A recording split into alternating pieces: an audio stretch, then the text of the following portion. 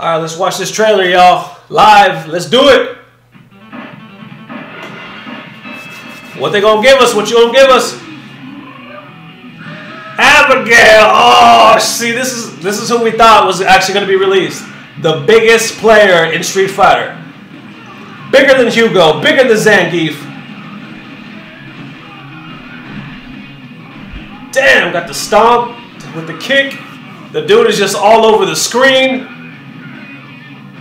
Massive. He just threw him up in the air. That was kind of lame, but whatever. Broke the ground. Smashed him.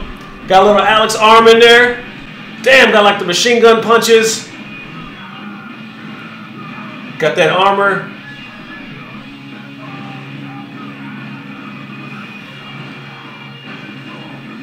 Shit.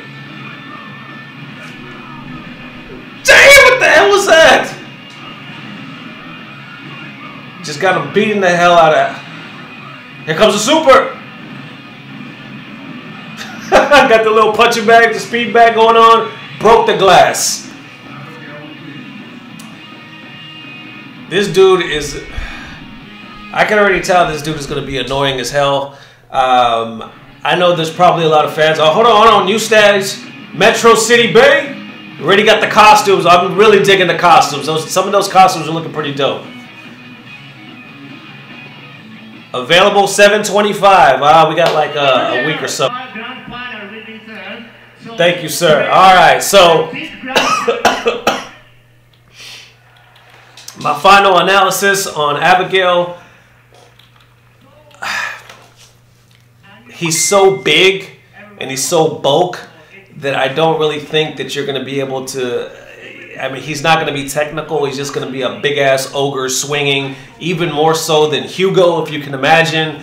Um, therefore, I'm really not looking forward to playing him. I'm really not looking forward to playing against him. I think he's.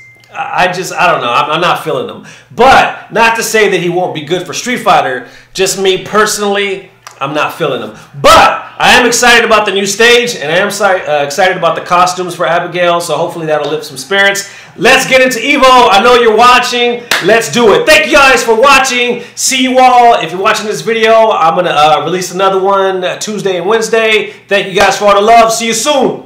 Peace. Blah, blah, blah. Subscribe. Mission